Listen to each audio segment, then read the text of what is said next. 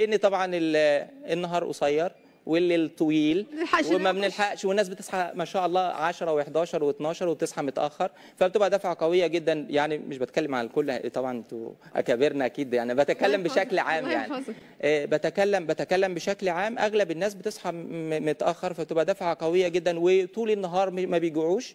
فبتبقى دفعة قوية جدا. اما يجي ياكل ياكل بفتره بيبقى عنده نهم في الأكل لأن هو ما أكلش طول اليوم. فحتة برضو دي نقطة تانية اللي هي تجويع الجسم إن إحنا ما ناخدش آه، لا ده دي نقطة مهمة لازم نقف عندها. في ناس بتقول إيه طب خلاص أنا هجوع نفسي وهحرم نفسي وهمشي على نظام قارس جدا في الشتاء مع إن الشتاء بيجوع والشتاء بيخلي الواحد ياكل بس أنا هاجي على نفسي وهقرص. هقرص طب ده هيجيب معايا نتيجة ولا أصلا ده له أضرار؟ ده من أسوأ الحاجات اللي ممكن أي شخص يعملها. بتجي بتقول لي بتجي لي في العيادة تقول يا دكتور أنا بشم ريحة الأكل بزيد ده أنا باكل آه واحدة والله في أنا اليوم. بسمع الجملة دي على طول ده أنا بشم ريحة الأكل بزيد ده دي بتجي لي هي دي يا دكتور ده أنا ما باكلش إلا وجبة واحدة أنا مش عارفه إيه السبب. إيه إيه السبب؟ السبب هقول لك هي تقنية كده بسيطة حلوة قوي لو فهمناها إحنا مشكلتنا إن إحنا بنتعامل مع الجسم بتاعنا بغباء.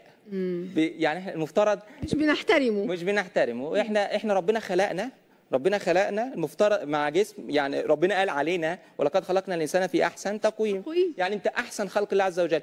جسمك ده أعظم جسم ربنا خلقه ليك لصالحك. لكن بسبب عمايلنا الغلط معاه ونمط حياتنا الغلط والنظام الغذائي الغلط وحالتنا النفسية والضغوطات النفسية ومش بنعرف إزاي نفرغ مثلا. الضغوطات النفسية اللي ممكن نكون عايشين فيها في فترة ما. كل هذه الأشياء بتتجمع مع بعضها. بتطلع شخص مريض سكر مريض ضغط مريض قلب زيادة في الوزن. والسمنة سبب لكل هذه يعني ما تلاقيش حد بيجي لي مثلا في العيادة يكون عنده سمنة آه، بنبدأ مثلا من الدرجة الثانية والثالثه وانت طالعة كده لحد السمنة المفرطة إلا وتلاقي معاه ضغط أو سكر أو قلب أو آه، تصلب آه، شرايين أو دو يعني فالمتلازمة الأيضية بقت منتشرة بشكل كبير جدا. المتلازمه الايضيه يعني يعني تلاقي الضغط عنده وتلاقي السكر عنده وتلاقي عنده زيادة في الوزن مع شوية لعبكة كده شوية أمراض متجمعين كلها مع بعضها. فانا بس بتكلم كنت في نقطة اللي هي بتاعت شرب المية ديت مهمة جدا. لازم نبقى عارفين إن 70% من الجسم بتاعنا مية. 70% من الجسم بتاعنا مية. 90% من الدم 90% من الدم بتاعنا مية. 70% من 70 ل 73% من العضلات بتاعتنا مية. 23% من العظم بتاعنا مية. آه. إيه وبعد جعلنا من الماء كل شيء حي. بس انت لخصت وجعلنا المية هي الوسيلة اللي بتنقل لنا جميع العناصر الغذائية للخلايا بتاعتنا علشان تقدر آه، فالشاهد من الموضوع اللي أنا بس عايز أتكلم فيه إن إحنا بيجي الشتاء ما بنحسش بالعطش عشان ما فيش حر.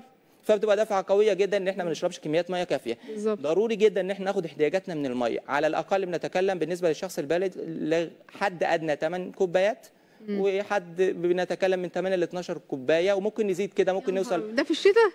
الناس أصلا بتبقى سقعانة يا دكتور الناس ساعات